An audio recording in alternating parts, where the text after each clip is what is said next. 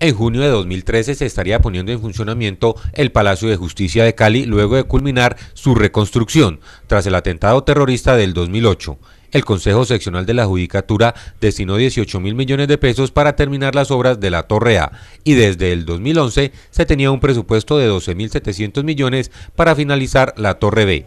Para Clarinés Ramírez, directora seccional de la Administración Judicial del Valle del Cauca, la edificación cumple con todas las expectativas. Esta es una obra que la verdad la estaba necesitando el edificio y la estaba necesitando la comunidad, la comunidad judicial y nuestros usuarios de la justicia también.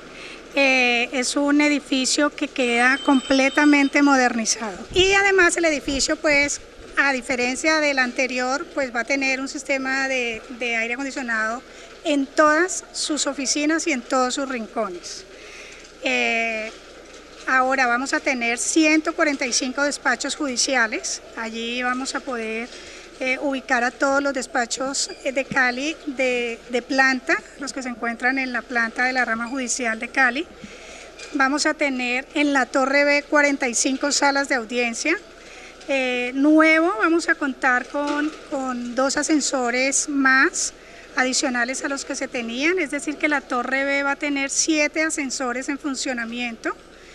Y vamos, la dirección ejecutiva va a funcionar acá en el piso 17, vamos a tener dos salones muy buenos de capacitación, en donde a través de la Escuela Judicial Rodrigo Lara Bonilla se va a poder dar la capacitación a todos los jueces y empleados. De acuerdo con el ingeniero Juan Manuel Gómez del consorcio Interventoría Cali 2011, el Palacio de Justicia de la ciudad fue reforzado desde sus cimientos y será un edificio inteligente. Las obras que se han realizado y que se han realizado hasta el momento en el Palacio de Justicia de Cali le da la garantía a la comunidad de que va a tener un edificio completamente nuevo y moderno.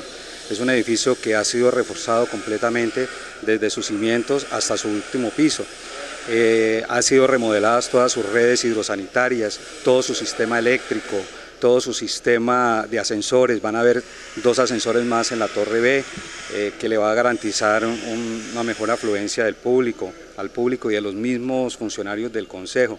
Adicionalmente, el sistema de aire acondicionado es un sistema inteligente, autocontrolado, que se, puede, se va a poder programar. Caso específico,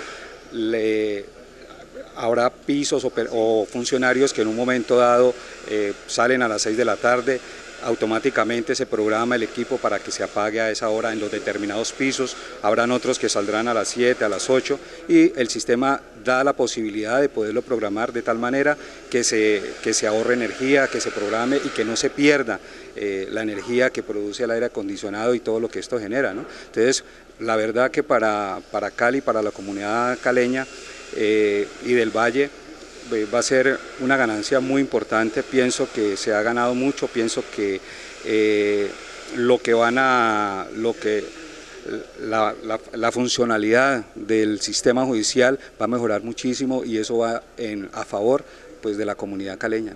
Una de las eh, nuevas obras que tendrá esta edificación eh, tiene que ver con el pasillo de salas. Esto va a permitir que los eh, jueces no tengan contacto con los procesados antes de iniciar las audiencias judiciales. Claro, efectivamente, el juez va a tener un acceso privado en donde va a estar más tranquilo y no va a tener contaminación ni con el público ni con las personas partes del proceso. Además, va a tener la tranquilidad de poder en un momento donde haya un receso en la sala, no tener que desocupar la sala ni hacer que el público se retire para poder tomar alguna decisión, sino que para eso van a tener su sala de decisiones interna y privada para poder tener esta este momento eh, importante para la decisión del juez. En los próximos días saldrá la licitación para la adecuación inmobiliaria que hace falta desde el piso 10 al 18, lo que dará paso a la atención al público en el Palacio de Justicia Pedro Elías Serrano.